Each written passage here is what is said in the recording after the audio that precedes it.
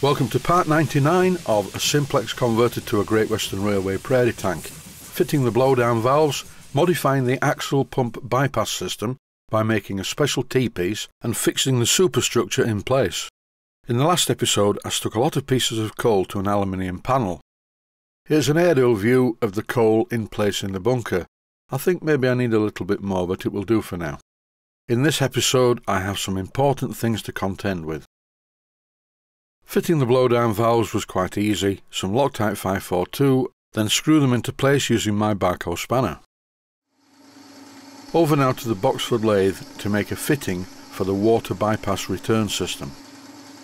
On the original boiler, the feed into the boiler for the axle pump was right at the front. And if you look at the earlier episodes you will see quite a complex system of piping from the output of the axle pump.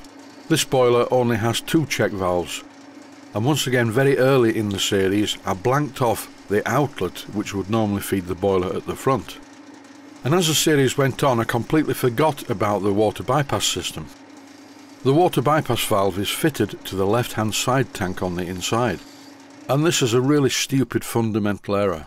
I have a lot to remember when making these videos and I is well old in it these days. And here's my best excuse. At that time I was taking metformin for my type 2 diabetes and this metformin did two things. One, it gave me diarrhea, I won't go into that, and two, it affected my brain. I was having difficulty remembering things in the short term, so I'm really not surprised that I forgot about repiping the water system. Here I'm parting off the part finish fitting. It's a bit of a strange one this. The original water bypass valve was held into the tank with a nut inside the tank which is inaccessible. Luckily I did manage to unscrew it okay by twisting it from side to side to lock the nut against the inside of the tank so it came off. This part of the fitting will be loctited into the hole in the tank. Or better still, I may use some JB Weld. But not until it's finished. That's the parting off procedure complete. Now I've turned the part round, put it back in the chuck and I'm using a centre drill to drill the end of it. And yes, I know it is moving in the chuck, this chuck doesn't always grip very tightly. But luckily, because of that, I don't break many drills. After the centre drilling, I then drill the part all the way through by using a 530 seconds twist drill. After this, I use the tapping size drill for a 3 8 by 32 thread. I thought I would slightly chamfer this piece of work to make sure it wasn't sharp. After that I threaded the hole using a 3 8 by 32 threads per inch tap. I screwed in a commercial steam tap. These are available from Blackgates Engineering. Now what I need to do is make a very small T-piece, and here it is. The thread on the end of this is also 3 8 by 32 threads per inch, but this bit that I'm temporarily putting in place is threaded 5 16 by 32 threads per inch.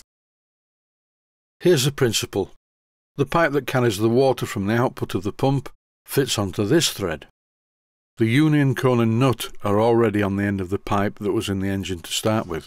This outlet connects to the check valve in the boiler, and this bit sticks through the hole into the tank. This clip shows the T-piece after silver soldering. Time to fit it in place. And this is where the problem started. But anyway, I thought it would be a good idea before I tackle the problem to clean up the freshly silver soldered T-piece using my Proxxon motor tool in the bench mount. Now that the T-piece is looking a lot better, it's time to fit everything in position. But there was a problem. The original union nut on the pipe and the union cone was not the right size. I had two choices, one being to make a new T-piece and the other one to re-silver solder a proper union on the end of the pipe.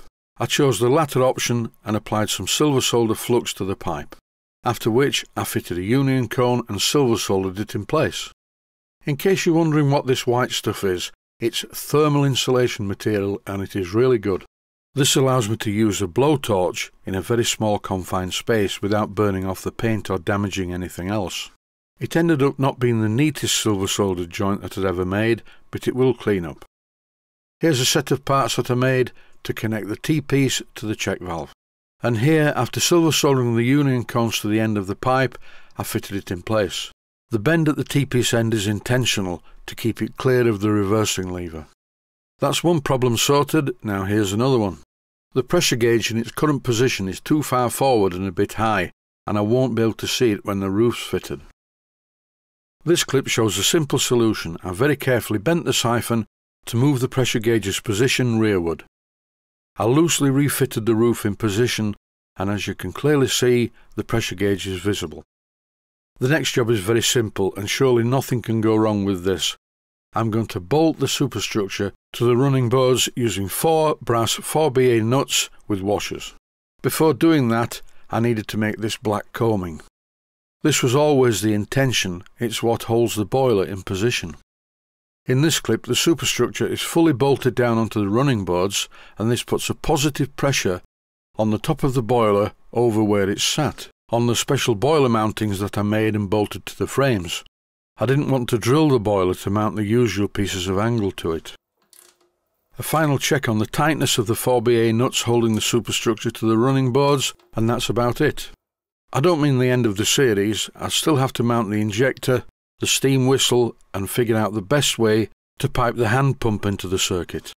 Just in case you're wondering how I made the combing, I used a Stanley knife and a piece of silicone rubber tubing, but you do have to be very careful not to cut yourself.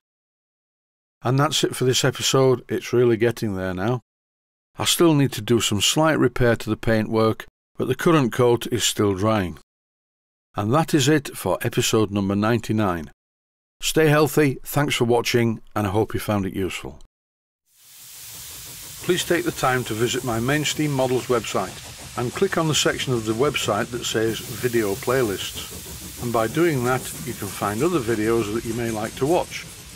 And by using the playlists, you can actually watch the videos back to back.